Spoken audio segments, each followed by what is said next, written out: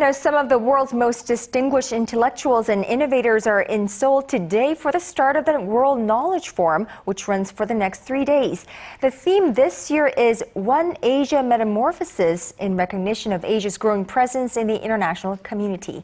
Arirang News Kim Hyun-ji was there.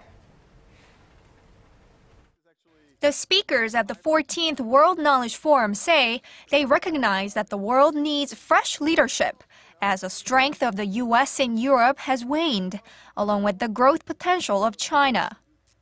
Former Prime Minister of Thailand, Thaksin Shinawatra, says that an integrated Asia could offer new leadership by adopting a growth model that's different from the mass production model of the West. Shinawatra's idea of One Asia envisions connecting Asian countries with a high-speed logistics system that could boost local industries and small and medium-sized firms, allowing Asian entrepreneurs to tap into their creativity. Shinawatra stressed, however, that the One Asia vision can be achieved only when the participating countries settle political or territorial disputes.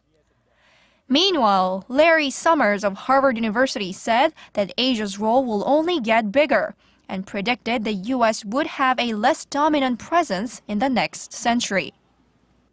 When asked to offer his prescriptions for the Korean economy, Summers pointed to education, saying that the focus should be on producing creative thinkers.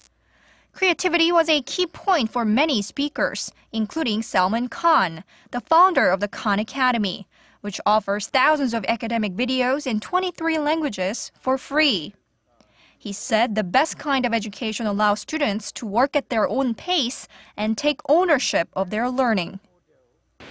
Over the next two days, the forum participants will have a chance to further explore ways to foster creativity across a range of disciplines and develop the One Asia concept in the domains of business, finance, and IT ventures. Kim Hyun-ji, Arirang News.